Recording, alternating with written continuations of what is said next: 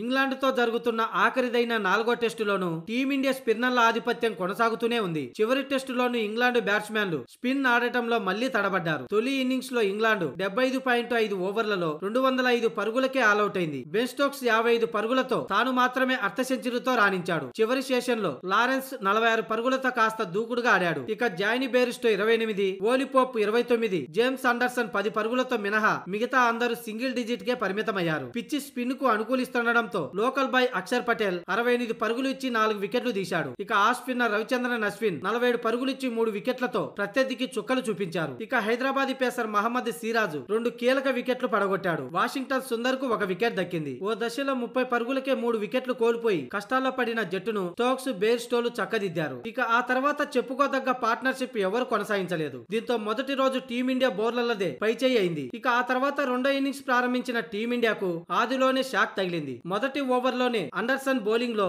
Shubman Gill ఎల్బీడబ్ల్యూగా pavilion చేరాడు. దీంతో పరుగులేమి చేయకుండానే మొదటి వికెట్ను కోల్పోయింది టీమిండియా. దీంతో మ్యాచ్ ముగిసే సమయానికి ఒక వికెట్ నష్టానికి ఇరవై నాలుగు పరుగులు చేసింది టీమిండియా. ప్రస్తుతం క్రీజ్లో రోహిత్ శర్మ ఎనిమిది పరుగులు చతేశ్వర పుజారా పదిహేను పరుగులతో ఉన్నారు.